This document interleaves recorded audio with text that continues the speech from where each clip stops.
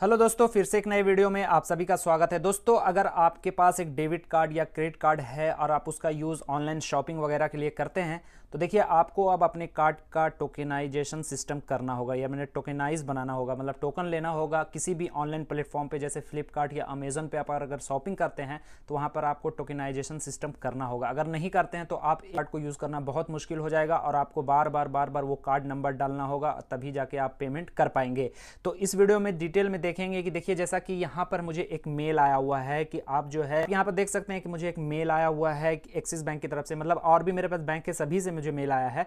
तो यहाँ पे एक्सिस बैंक से मेल आया हो कि बिफोर थर्टी जून के पहले जो है आपको अपने कार्ड का टोकेनाइज कर लेना है। आरबीआई की तरफ़ से गाइडलाइन है कि आप अगर ऑनलाइन पेमेंट करते हैं अपने कार्ड का यूज़ करके तो उसका टोकेनाइज सिस्टम कर लेना तो कार्ड जो है यूज़ नहीं कर पाएँगे आप एक जुलाई से। मतलब यूज़ कर पाएँगे, मगर जो सेव्ड कार्ड रहेगा वो हट जाएगा। जैसे ऑनलाइन प्लेटफॉर्म पर आप कहीं पर कार्ड अपना सेव करके रखें तो देखिए हम बनाने के लिए अपने कार्ड को देखिए, कोई भी प्रोडक्ट यहाँ पर सिलेक्ट करते हैं। जैसे मैं ये वाला प्रोडक्ट यहाँ पर सिलेक्ट करता हूँ, उसके बाद बाय ना वाले ऑप्शन पर क्लिक करेंगे। बाय ना वाले ऑप्शन पर बाय ना वाले ऑप्शन पर क्लिक करने के बाद यहाँ पर एड्रेस चूज़ करने का ऑप्शन आएगा। एड्रेस चूज़ करने के बाद यहाँ पर जो है कंटिन्यू का ऑप्शन है कंटिन्यू वाले ऑप्शन पर क्लिक कर दिया।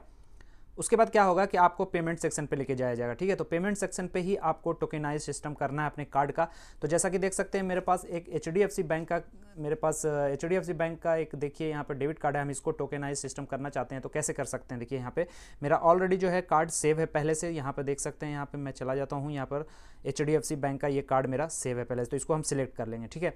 सिलेक्ट करने के बाद इसका जो सीवीवी नंबर है, वो हम डाल लेंगे।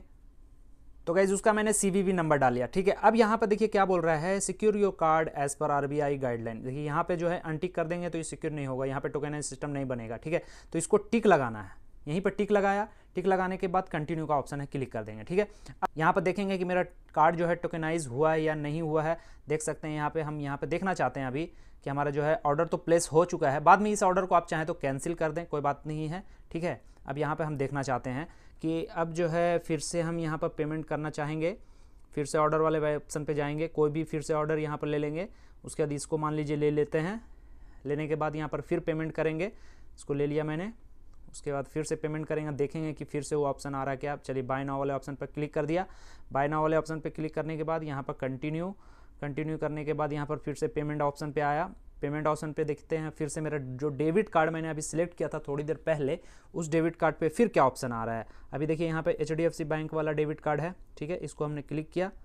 अभी देख सकते हैं यहाँ पर कोई भी आरबीआई की तरफ़ से जो आ रहा था, जैसे मैं इस कार्ड को क्लिक कर रहा हूँ तो देखिए यहाँ पर, यहाँ पे आ रहा है ये वाला ऑप्शन, ठीक है? अभी हम एचडीएफसी बैंक वाला कार्ड को क्लिक कर रहे हैं तो देखिए वो वाला सिस्टम नहीं आ रहा मतलब यहाँ पे जो लिखा रहा है, secure your card as per RBI guideline तो अब जो है एचडीएफसी बैंक तो आप देख सकते हैं यहाँ पर मेरा सिंपली जो है, मेरा एचडीएफसी बैंक का जो डेबिट कार्ड है, उसको मैंने आरबीआई गाइडलाइन के हिसाब से उसको टोकेनाइज कर दिया है, सिंपली जो मेरा टोकेनाइज हो चुका है, ठीक है?